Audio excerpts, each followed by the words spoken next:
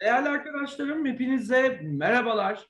2022 Ekim ayında yapılacak YDS'ye 21 gün kaldı. 23 Ekim'de yapılacak e, sınava çok az süre kaldığı için şu saatten sonra bol bol deneme çözmenizin faydası çok büyük. E, 21 gün var. 23'ü bugün ikisi 21 gün var. 21 günde 10-12 deneme mutlaka çözün ve e, çıkmış yılların denemelerini e, 2021-2020 denemelerini gerçek sınavmış gibi 3 saat masa başına oturarak e, çay, kahve, televizyon, telefon açmadan kendinizi izole ederek gerçek sınav gibi çözmenizin çok faydası var. Keza o çözmeyi tavsiye ettiğim 10-12 denemeyi de bu şekilde çözmenizde fayda var. Ee, kalan dönemlerde bol kelime çalışıp, bol deneme çözüp, bol okuma yapmanın size çok büyük faydası olacaktır. Gramer tekrarınızı da mutlaka close testlerle yapın. Zaten biliyorsunuz gramerde en çok karşımıza çıkan soru tipi bağlaç preposition, e, tense model, bir de gerund infinitive ama bunların içerisinde tense model e, ve pasif soruları çok zor gelmiyor. E, rahat çözebiliyorsunuz. E, bağlaç ve preposition yüklenmekte fayda var grammar açısından. E, bir sınavda başarılı olmak, çok kelime bilmek önemli mutlaka. Grameri bilmek önemli. E, iyi çeviri yapmak önemli. E, soru çözüm tekniklerini bilmek çok daha önemli. Fakat e, sınav esnası da çok kıymetli. Bu yüzden sınav esnasında hangi soruya ne kadar süre ayırmanızla ilgili gerekli paylaşımı Instagram hesabımda yapıyorum. Fakat e, sınav esnasında soru çözme sıralaması ise yine sizin hedeflediğiniz puana göre değişkenlik gösterebilir. E, bugün bu yapacağım, bu çekeceğim videoda anlatacaklarım tamamen tavsiye niteliğinde yani zorunlu değilsiniz. Fakat e, sınavlara yani çözeceğiniz 10-12 sınava e, sıralama denemenizi de yaparak girip e, 10-12 sınav sonucunda en verim aldığınız sıralamaya göre soruları çözmekte fayda var. Dediğim gibi zorunlu bir e, video değil bu. İsteğe bağlı. Beni dinlersiniz. E, size iyi geldiğini hisseder ve teste uygulayıp, denemede uygulayıp başarınızı artırdığını görürseniz e, bu çekeceğim videodaki sistematiği kullanabilirsiniz değerli arkadaşlar.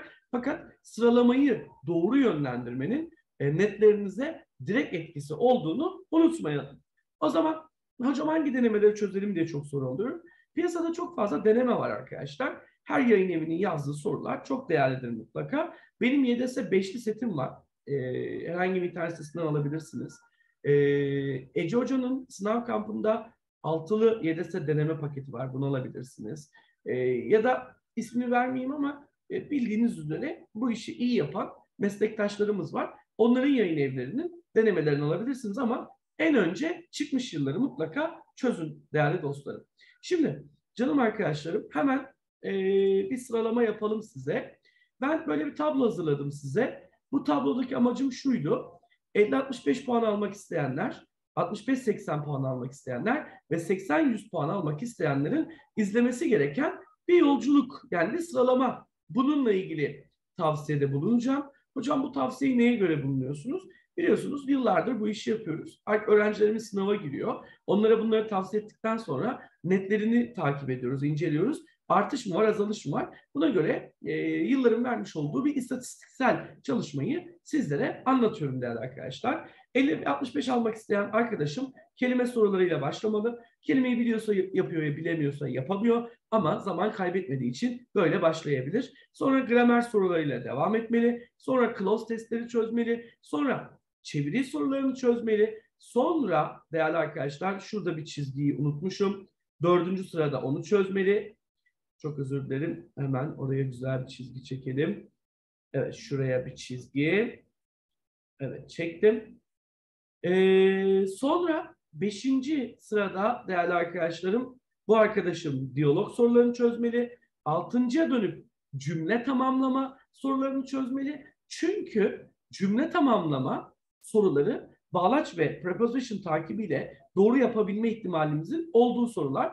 Diyaloglarda biraz böyle yorum yeteneğini güçlendirirsen rahat çözebileceğiniz sorular. Yedinci olarak cümleden atmayı çözmeli. Yedinci olarak cümleden atmayı çözmeli. Irrelevant sentence'ı. Sonra sekizinci olarak paragraf sorularına gelip burada iki tane paragraf çözmeli. Dokuzuncu olarak restatement sorularını çözmeli.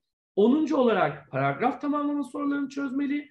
On birinci olarak da yani sınavın sonuna üç paragrafı bırakmalı. 55-65 için yapmış olduğum bu sıralamanın sebebi e, yapma ihtimalinizin yüksek olduğu soruları sınav esnasında enerjiniz yüksekken dikkatiniz dağılmadan çözdürüp puanları toplamanızı sağlamak. 65-80 civarında bir puan isteyen arkadaşımın ise şöyle sınava başlaması gerekiyor. Bu arkadaşım da kelimeyle, gramerle değil mi? Ondan sonra close testle devam etsin. Sonra sıralamayı bozmasın, cümle tamamlamaya girsin. Sıralamayı bozmasın, çeviriye girsin. Altıncı sırada bu arkadaşım mutlaka iki tane paragraf çözsün. Yedinci soru sırada diyaloğu yapsın. Sekizinci soruda cümleden atmayı yapsın. Sekizinci de cümleden atmayı yapsın. Cümleden atmadan sonra araya bir paragraf daha yerleştirsin. Dokuzuncu soruda restatement sorularını çözsün. Sonra onuncu olarak bir paragraf daha çözsün. On birinci olarak paragraf tamamlamayı bitiriyoruz. On ikinci olarak bir paragrafı da burada çözüyoruz değerli arkadaşlar. 65-80 isteyen arkadaşıma da bu şekilde bir sıralama yapmamın sebebi şu. Yine puan toplayabileceği bonusları hızlıca çözdürdük. Ama 65-80 için paragrafa da yer vermemiz gerekiyor. Paragraftan yanlış yapmamamız gerekiyor. Sınavın tam ortasında zihnimizin yine çok güçlü değil ama açık olduğu bu dönemde iki paragrafı garantileyip e, daha sonra sıralamayı yaptık. Şimdi 80-100 puan alan arkadaşım için şöyle bir durum söz konusu. Zaten bu arkadaşımın kelimesi iyi. Bu arkadaşımın grameri iyi. Bu arkadaşımın soru çözüm teknikleri de iyi. E o zaman bu arkadaşımın ne yapması lazım? Benim bu arkadaşım direkt e, dikkatinin çok fazla olduğu zor sorularla sınava başlayıp e, enerjisini zor sorularda harcayarak yanlış yapmaması lazım. O yüzden bu arkadaşım bu sınava kesinlikle iki paragraf sorusu çözerek başlasın. Yani birinci hamlemiz bu olsun. Sonra biraz rahatlasın, kelimeyi bitirsin, grameri bitirsin, close testi bitirsin bu arkadaşım. Sonra gelsin, gelsin ee, bir bir burada paragraf tamamlama yapsın. Yani beşinci sıraya paragraf tamamlamayı koysun. Altıncı sıraya restatement'ı koysun. Yorulsun, yorulsun. Ee, sonra bu arkadaşım yedinci sırada e, bir paragraf daha çözsün. Sekizinci olarak cümle tamamlamayı bitirsin. Sekizinci olarak cümle tamamlamayı bitirsin. Sonra dokuzuncu olarak bir paragrafı da burada halletsin. Onuncu sırada, onuncu sırada e, cümleler atmayı yapsın. On birinci sırada bir paragrafı daha bitirsin. On ikinci sırada diyaloğu bitirsin artık çok rahat çözebileceği. En sona da çeviri sorularını koyarak sınavı sonlandırsın. Şimdi bu arkadaşım yani 50-65 isteyen arkadaşımla 80-100 arası isteyen arkadaşımın gidişatı birbirinden çok farklı oldu. Niye? İki paragrafla başladık. Rahatladık kelime grammar clause hallettik. Beşinci sıraya geldik.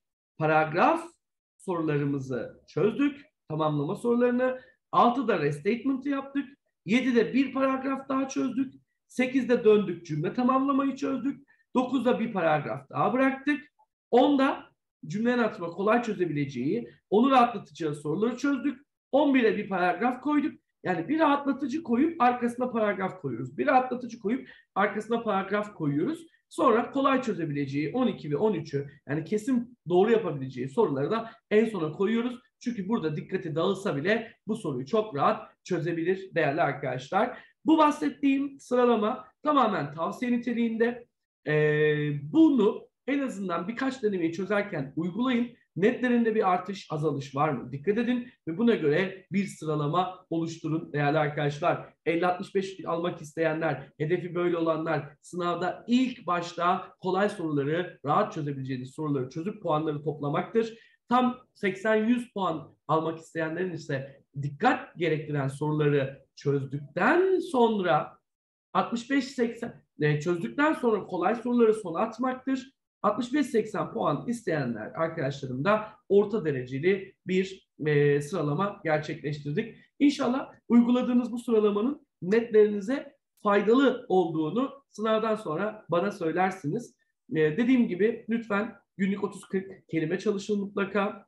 E, bol bol deneme çözün. Gramer'i da close testler içerisinde tekrar edin. Şu saatten sonra size iyi gelecek şey deneme çözmek. Görüşmek üzere. Kendinize çok iyi bakın. Şimdiden başarılar diliyorum. Hoşçakalın. Görüşürüz.